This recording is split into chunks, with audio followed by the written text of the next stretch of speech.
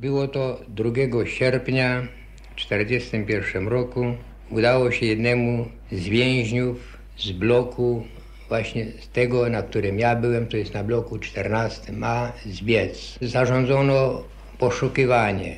Nie odnaleźli tego więźnia, więc wiedzieliśmy, że będzie wybiórka, bo taka była procedura w obozie, że za jednego, który ucieknie, dziesięciu idzie na śmierć. W czasie tej wybiórki ja stałem gdzieś tak w środku, nadszedł nade mnie Lager Fritz i wskazał ręką, że mnie też wyprowadzić do tych skazańców.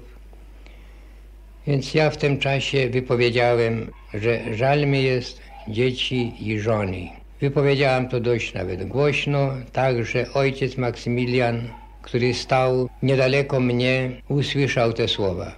Więc gdy jużśmy byli wybrani, wszyscy dziesięciu, miano nas odprowadzić na blok 11 do bunkra na śmierć głodową, wtem samorzutnie więzień wystąpił z szeregu i skierował się przed Lagerführera. Powiedział, że on chce pójść za jednego z wybranych. Lagerfritz pyta się go, dlaczego ty chcesz pójść?